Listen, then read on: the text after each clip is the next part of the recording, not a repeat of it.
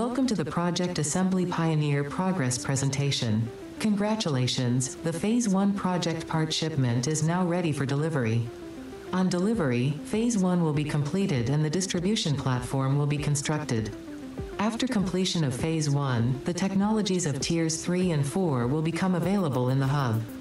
Highlights are automated power, steel production, personnel transportation, and many more. Completing Phase 2 of project assembly is your next main objective. New project parts will need to be produced and delivered to the space elevator as you have done previously. Continue to construct, automate, explore, and exploit for a better FICSIT future.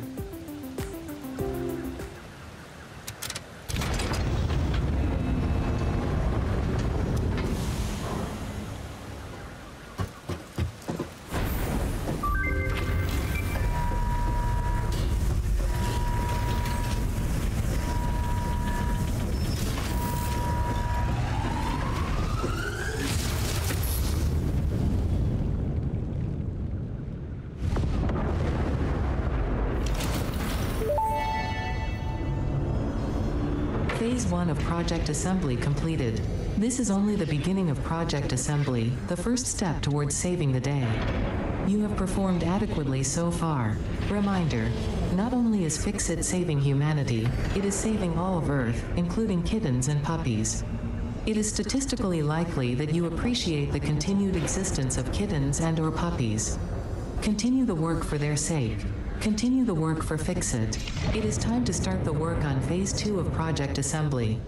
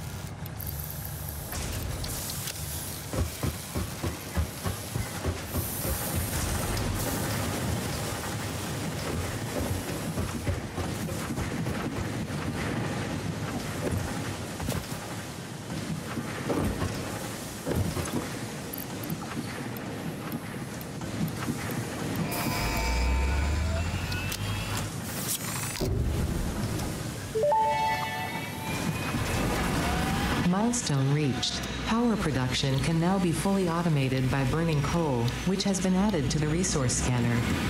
Water is also necessary to run the coal-powered generator and will require a network of pipelines to be transported from a water source. To assist with locating and identifying water, FICSIT has compiled this guide.